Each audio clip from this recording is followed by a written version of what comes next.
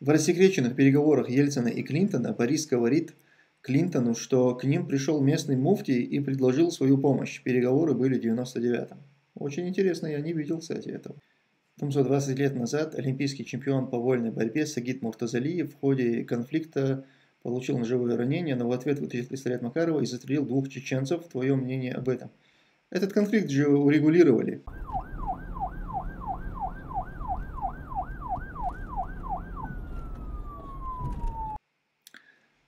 Ненависть – это месть за испытанный страх.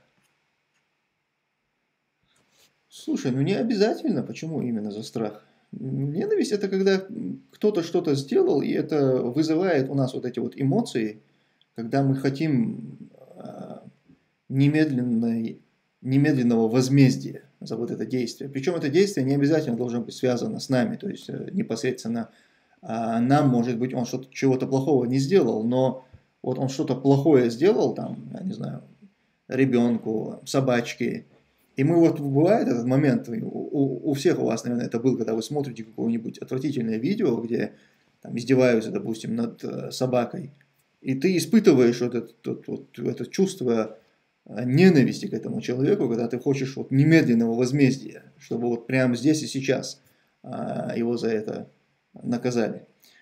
Поэтому я бы сказал так, что ненависть – это то чувство, которое именно возникает в результате какого-то вот именно плохого, какого-то акта, э, когда этот человек что-то сделал.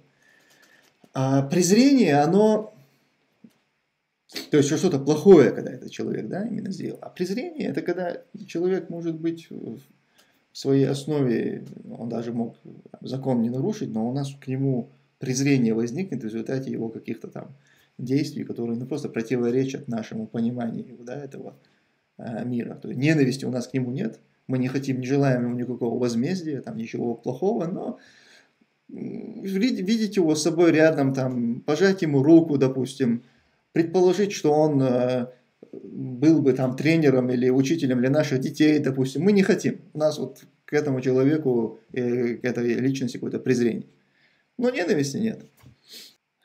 Бывший Гурон. Тумсо, я просто э, привел цитату. Джордж Бернард Шоу, цитата. «Ненависть – месть труса за испытанный им страх».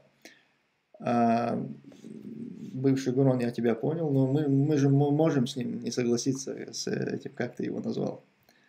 Э, Берна... Джорджем Бернард Шоу. Давай не согласимся с ним.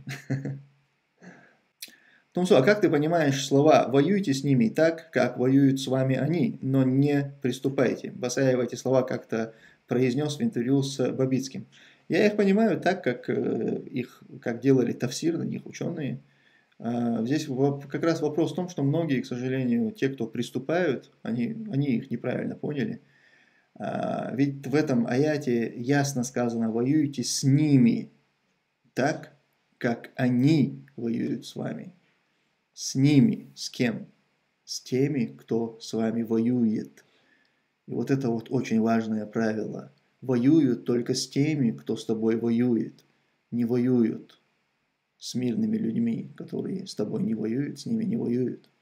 Вот это очень важное э, непонимание многих, к сожалению, э, этого аята из Бурана. Нельзя, э, если, если с тобой воюют и совершает какое-то преступление, то в ответ можно совершить это преступление в отношении этих людей, понимаете? То есть ты можешь им ответить тем, что они сделали тебе, но ты не можешь пойти и совершенно ни в чем не повинным людям сделать какое-то зло, и потом сказать, что я им вот этим вот товарищам ответил. Это не они тебе сделали, это они, вот им ответь тем же самым, а не ни в чем не повинным людям. Зачем Эрдогану перемирие между РФ и Украиной? Зачем вообще всему миру сейчас нужен мир а, в Украине? Да, когда эта история начиналась, мы не думали, что последствия а, коснутся а, африканские страны. Многие даже эксперты понятия не имели, насколько это отразится даже на жизни европейцев.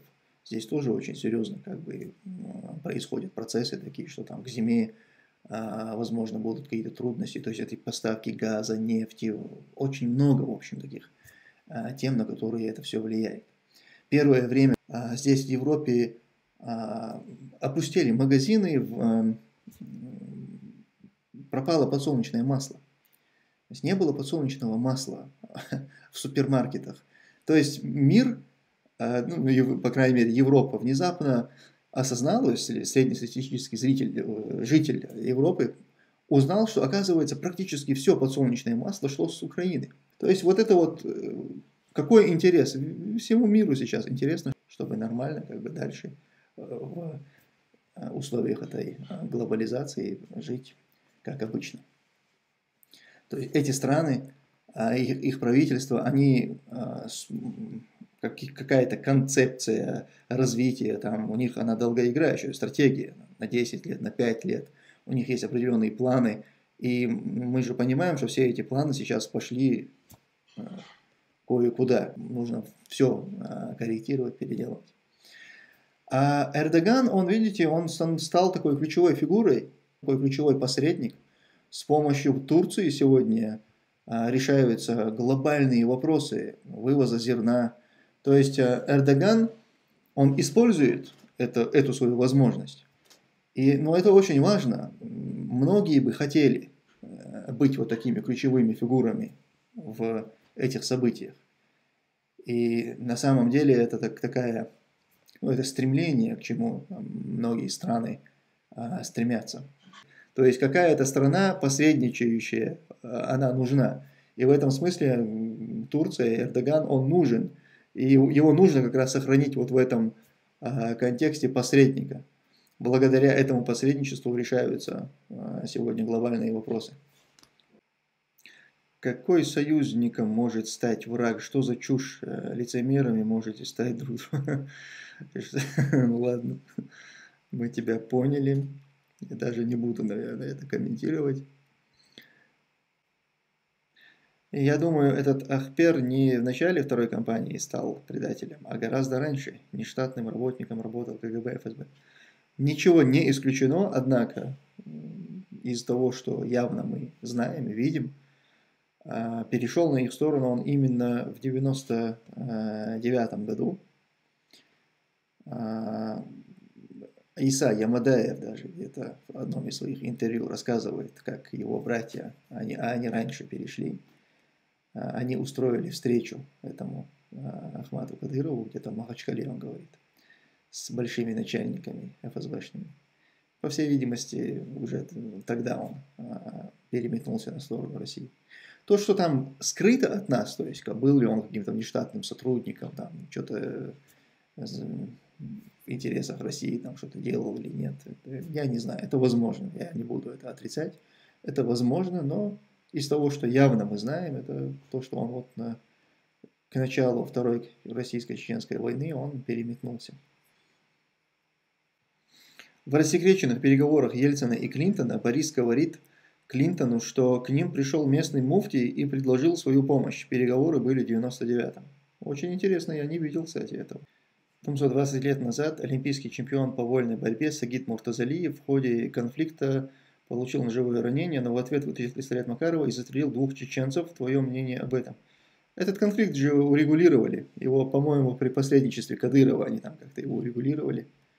А, насколько мне известно, я могу какие-то подробности, конечно, не знать.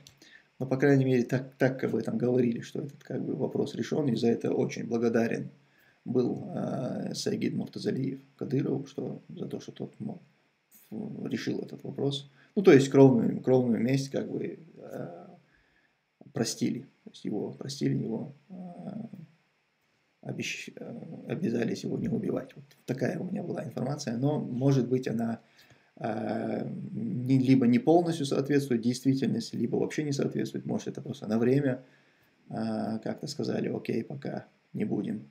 Не знаю, в общем.